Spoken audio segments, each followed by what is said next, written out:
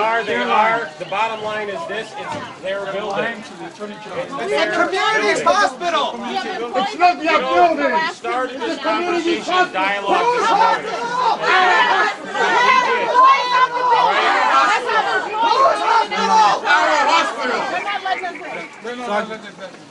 Just on the phone, generally on the phone with the Attorney General.